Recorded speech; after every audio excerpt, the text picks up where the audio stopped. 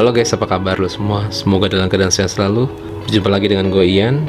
Pada kesempatan kali ini kita akan coba bahas satu klon Tobacco Fanny dari Fragrance World.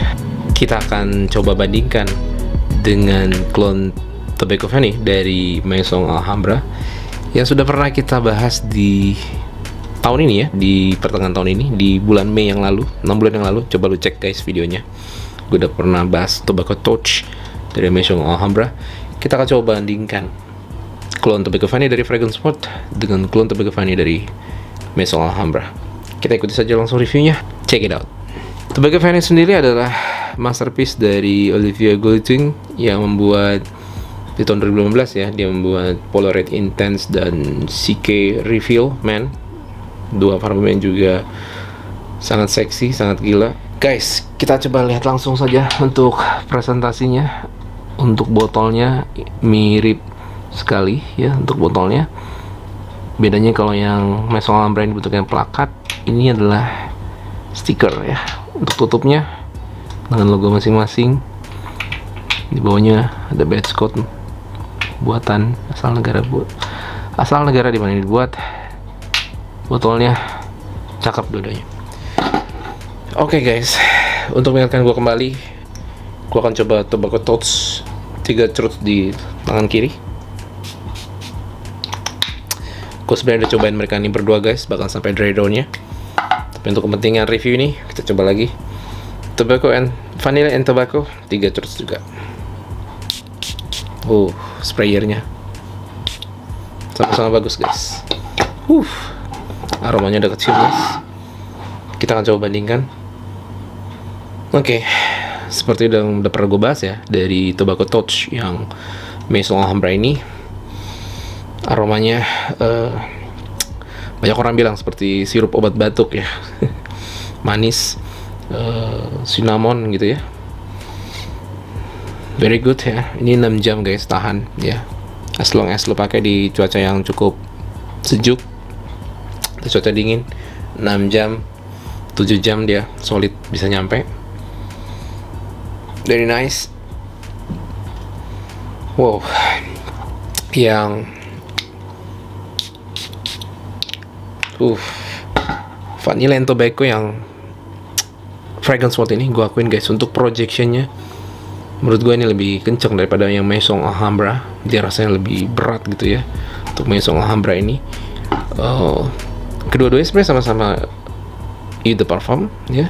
80 mili kemasannya Yes, kalau ini gue pernah bilang sebagai bom cinnamon, maka yang vanilla and tobacco dari Fragrance World ini inilah super bom cinnamon guys ya. Kayu manisnya luar biasa ya. Bahkan, nah ini dia. Perbedaan signifikan keduanya adalah ketika di drawdownnya mereka ini akan uh, agak sedikit berbeda.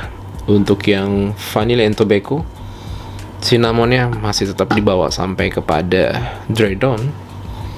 Sedangkan yang Maison Alhambra ya. Tobacco touch uh, manis dari tuang kabinnya itu yang kerasa di dry downnya.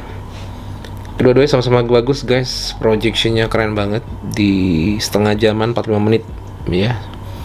Kalau lo sampai 8-10 truths sampai satu jam masih bisa project ya di jarak semeter kurang. This is very good ya. Projectionnya keren habis apalagi yang fragrance world uh, cuman secara aroma guys. Nggak tahu kenapa gue lebih menikmati yang tobacco touch dari Maison Alhambra walaupun secara klon dua-duanya gue kasih nilai solid 85 guys. Keren habis untuk aromanya dengan harga di bawah 300 ribuan. Ini keren habis. Like banget buat lo kok.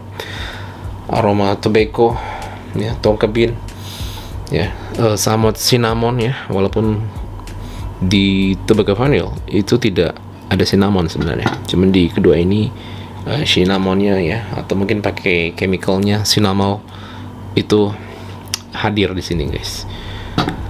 Uh, saran gua guys karena ini kan cocok banget buat uh, ngedate atau mungkin nongkrong ya.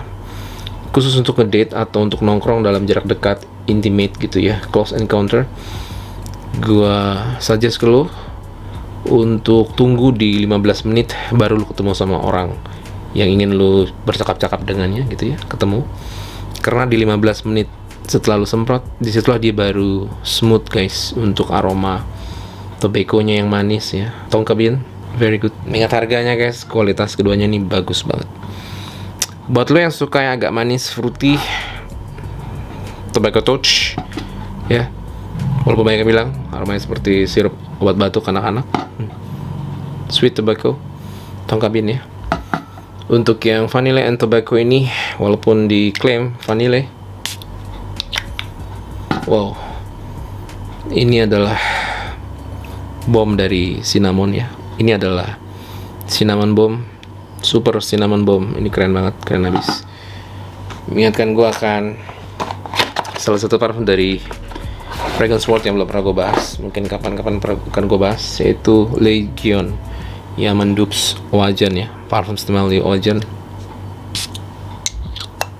Ini adalah bom cinnamon yang luar biasa. Sirupi ya cinnamon.